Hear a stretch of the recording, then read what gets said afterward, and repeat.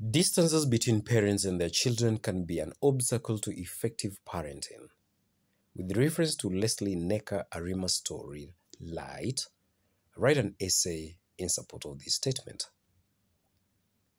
Distance between parents and their children can be an obstacle to effective parenting. With reference to Lesley Nneka Arimah's story, that is The Light, write an essay in support of this statement. Good learners, welcome, welcome, welcome again. Even you're doing these particular final touches in preparation for this particular November exams, and of course, we're giving a prediction. This is the memories we lost and other stories, and this is from the light, Leslie Nekazarima. Now we are responding to this particular prompt here. You're asked to write a composition, a development, or an essay on this particular prompt up there. With reference to this particular text here, write an essay in support of the statement that distances between parents and the children can be an obstacle to effective parenting. An intro up there. Parents may find themselves separated from their children because of work or study. The distance normally hinders effective parenting because it reduces communication between parent and child. Light by Lesley Nneka Arimah brings to light the effects of this separation. The first challenge the girl experiences is a boy girl relationship. Three years after her mother went to America to study for a master's in business administration, the girl is now 14. Her father has been invited to school since the girl is in trouble for sending a boy a note, and it is not for the first time. In Enebeli's eyes, the boy is not appealing. He is short, and one of his ears is significantly larger than the other. He also sports a terrible haircut. He is saved from Enebeli only because, like everybody else, he is confused about the girl's attention. This particular note reads, and I quote, Bookie, I love you. I'll give you many sons. Enebeli struggles not to guffle but wonders where the girl gets all these. Definitely not from her mother or him. Assuring the head teacher that it will not happen again, he promises to chastise her. It happens two more times before the girl learns to pass notes better. Enebeli deems his daughter his brightest ember and will not dim her. Her mother attempts to correct her, but much is lost in transmission over the wire. Her influence as a mother has been diluted because of the long absence and distance. She disagrees with Enebeli concerning the training up of the girl. Later, trying to close the distance between her mother and her, she tells him about the boy, stringing out his verges like Christmas lights. He is shorter, so he has to obey her, and he is finally learning how to kiss better. The mother is disappointed. She says she did not think she would raise that kind of a girl. Secondly, when Enebeli's wife goes to the US and stays for a few years, there is a serious strain in communication between her daughter and her. The first month she had gone to the States, sh- the family would speak to each other several times a day.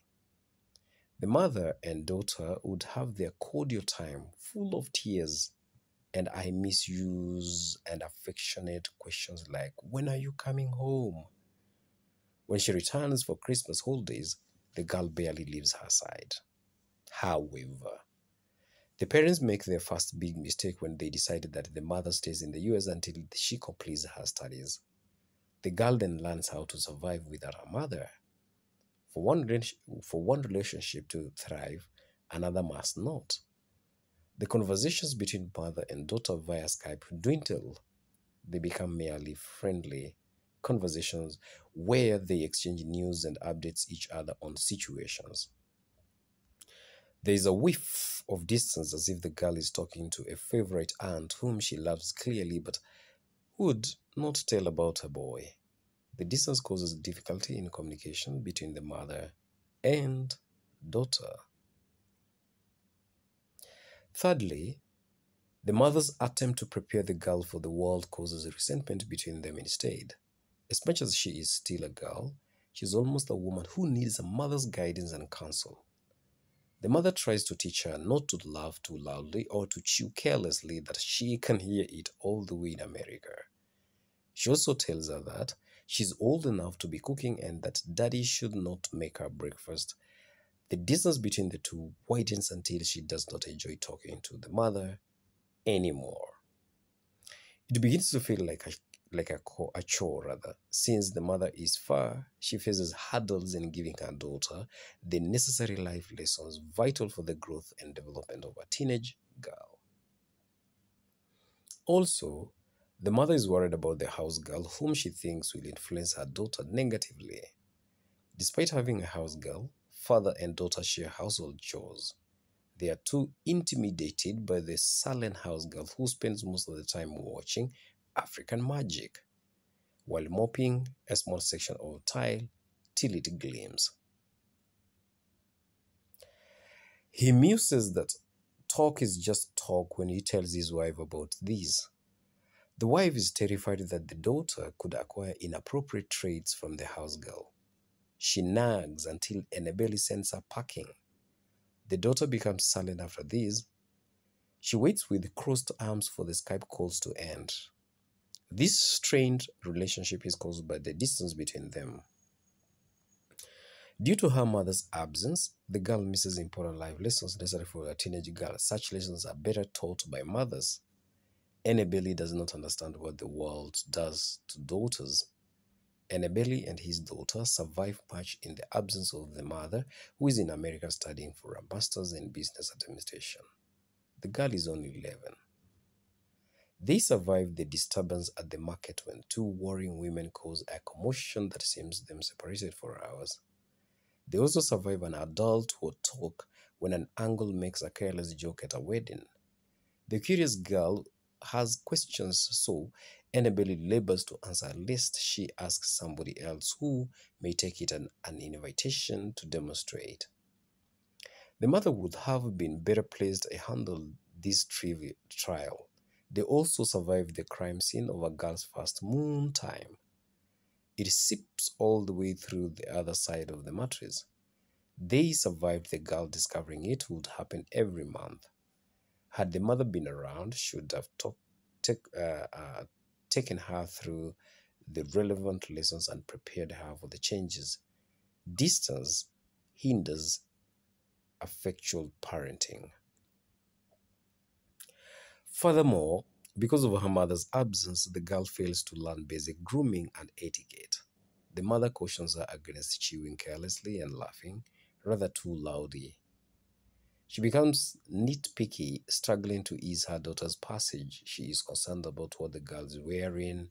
She advises her to sit with her legs uh, crossed at the angle. She also wonders when the girl last had a relaxer as her hair is scattered, scattered rather. Enebeli panics when the wife suggests that she would call her sister. The sister is a terrifying, com- competent woman with three polished boys and the money to take another child. In his in his fit of panic, Enebeli buys cream to attempt and fix the girl's hair. He massage, uh, massages it into her scalp like lotion, and the smell makes both their eyes water. When he washes it out, half of her hair comes out. When the mother's sister comes, she silently notices that the over the over-processed maize and the scab forming on the girl's forehead. When she brings her back, her hair is shorn and cut close to the scalp. She turns her head, preening. The mother admits that she has a lovely shaped scalp, but ruins everything when she adds that she can't wait for the hair to grow back so that she looks like a proper girl again. This causes another fight between her and Enebeli. They feel like strangers. The distance contributes to this particular kind of fallout. Lastly, the girl is forced to take sides when the parent fight. When she comes back from her aunties, everyone, including the mother, agree that her skull has quite the lovely shape. However, The mother ruins it when she says that she can't wait for the hair to grow back so that she can look like a proper girl again. This starts another argument between the parents. The mild fight peppers with time. Distance subtracts warmth, context, and history. Husband and wife feel like they are arguing with a stranger. The girl stops talking to her mother, and that is after that remark. Naturally, the mother pleads with Enebeli to, so, uh, to soften her. He agrees but does not comply. He enjoys when the girl is angry at her mother and when she is on his side. As much as the girl does not hold grudges, the distance between her and the mother widens and is now akin to something curious.